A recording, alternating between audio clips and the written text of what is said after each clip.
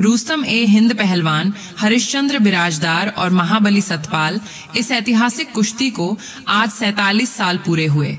महाराष्ट्र के पहलवान, हरिश्चंद्र बिराजदार और महाबली सतपाल, ये कुश्ती 11 जनवरी 1977 में आनंदवाड़ी बेलगाम में हुई थी।